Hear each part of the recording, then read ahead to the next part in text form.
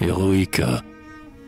Ô belle, je voudrais, comme quelque Athénée, te voir surgir du fond de mes rimes guerrières, tout l'être de nature héroïque adorné.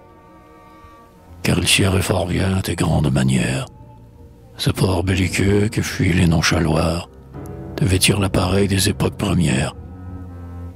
Car nul chef, redressé pour de rudes vouloirs, ne te vaudrait coiffant du casque des batailles, le casque ténébreux de tes longs cheveux noirs.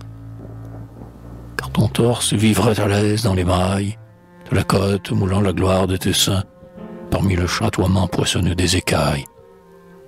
Car ton col est de ceux qui pourraient être saints, par le quadruple tour des colliers de palmyre, que, s'employer, porte la reine au grand dessein.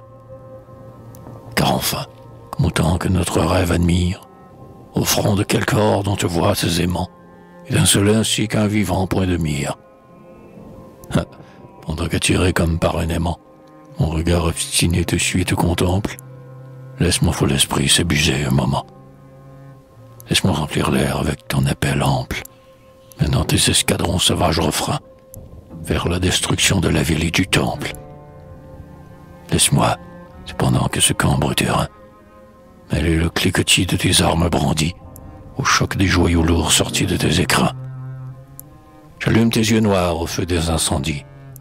J'étale la blancheur féroce de tes dents dans un rire annonçant de proches tragédies. Je mets derrière toi des horizons ardents, devant toi le butin qu'indique ton grand geste, à qui répond le cœur de mille cris stridents.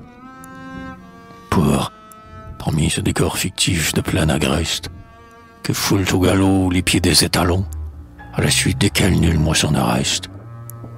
Terrible, frémissant de la nuque au talon, la poigne exaspérée au manche de l'épée, la course déployante au ventre et chevelon, animée de toi seul une immense épopée.